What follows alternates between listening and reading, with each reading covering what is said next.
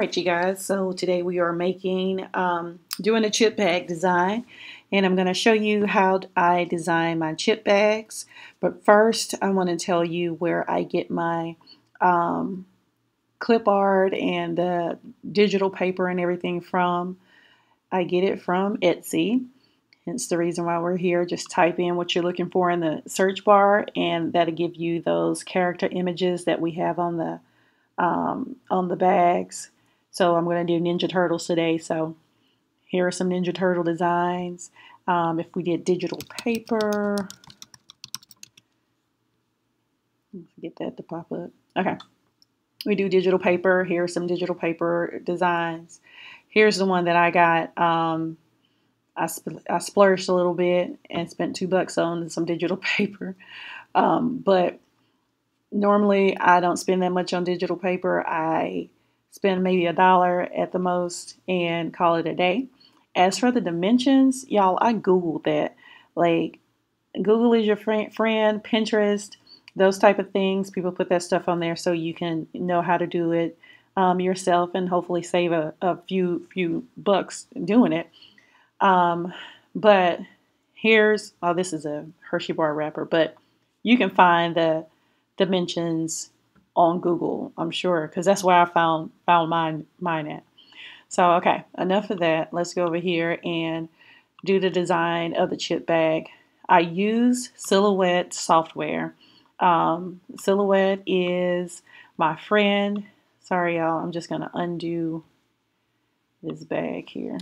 Let's move that. So you'll get me get to see me deconstruct it. How about that? All right, let's take, you know what? I'm going to take all my images off and we'll start from the beginning.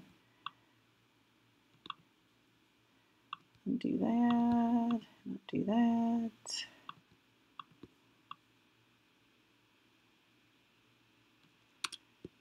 All right, so let's move all this stuff out of the way. Alrighty. So first thing you'll start with are uh, some rectangles for the side, the middle, uh, well, the sides, the front, and um, of your bag. The sides will actually be your um, the back portion of the bag. So when you fold it, that those sides will go in the back, of course. All right, so here's my, my rectangle. I need to size it to um, what I like to work with. So for width, I do 2.6 and this is for the sides, okay? So 2.6 on the side and 6.5 for the height and that is in inches. So we're working in inches today. 2.6 wide, six and a half inches tall. All right. So I'm going to make a copy of this one because of course we have two side portions that'll be in the back. And I'm going to also make one more copy so we can resize it for the front, okay? So with this front portion, I am going to make that about five and a half, uh-oh, not on height, let's undo that. I'm going to keep the height at six, six and a half inches, but the width is going to be five and a half because we want the front to stand out a little bit more. So all I'm going to do is just align these a little bit um, I'm not going to make sure that they're perfect because we got to add our digital paper and um, which is our background. The digital paper is the background and then add our images and things like that to it. Okay. So let me go find my paper here in my little list. And I want to use, let's do the side.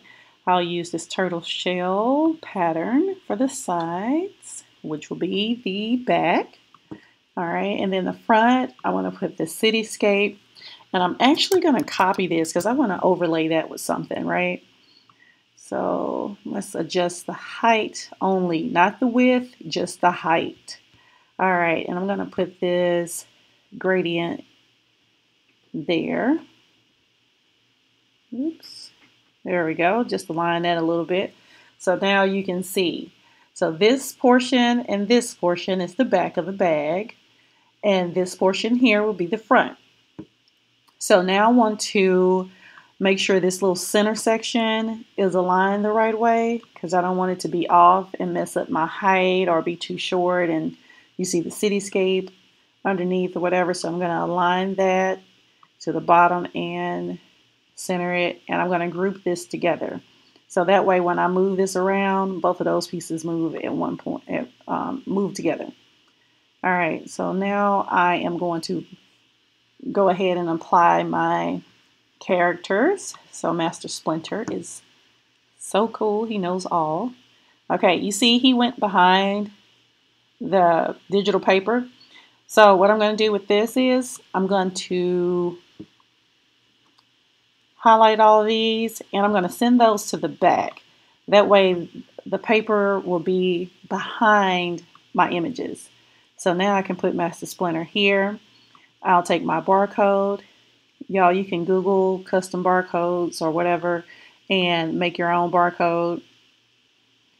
And I'm going to put my logo there and grab my group of turtles, put them there. Let's get the name, throw that down there, and this here. All right, so my nutritional facts, just keep it simple.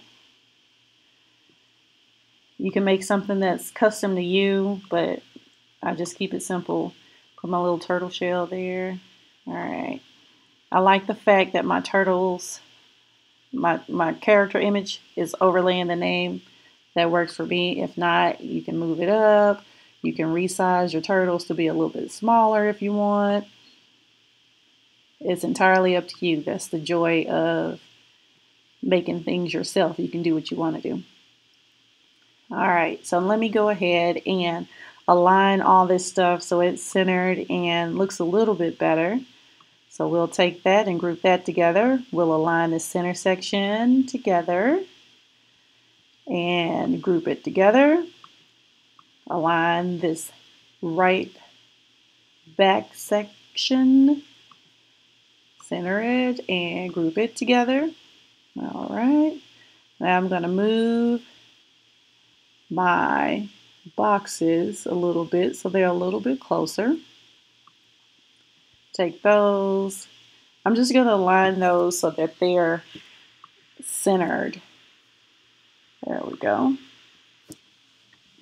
All right, or you can align them to the top or to the bottom, whichever you want to do because it's all six and a half inches tall, right? All right. So I'll group all those. And I'm going to center it to my page. And there you have it. Now this entire sheet is the size of a piece of paper. Standard piece of paper, 8.5 by 11. Um, so when you go to print this, you'll have your image here and you'll have these white portions. If you don't like the white to be showing, you can either cut it off and just have your chip bag as it is with you know your colored image here or you can get creative and um, put something behind there. Me personally, I like a little bit of white showing, but everybody's not like that. So um, you can size that that under box or the cover the white, you can size that however you want it, want it to be. I'm going to send it to the back since it'll be behind everything. Um, and you can put it a solid color if you want. Um, you can go and get another digital paper and put it underneath if you want.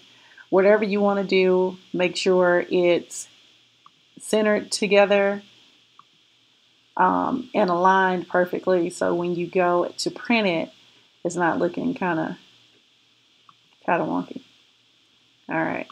You still see some white up here, but once it comes out, you can just cut that off. And then go ahead and assemble it and crimp this top edge and you'll have a cute decorative chip bag for whatever event that you want to want to have. So hopefully this has answered your questions on how to design and size the bag. Um, also, I want to let you know um, on the assembly video, there are um, in the not comments, but in the um, description of the video, there are links right there so that you can get the supplies um, and see the things that I use to assemble the chip bag. So like I said, hopefully everything, this has helped you guys with everything and I'll catch y'all next time.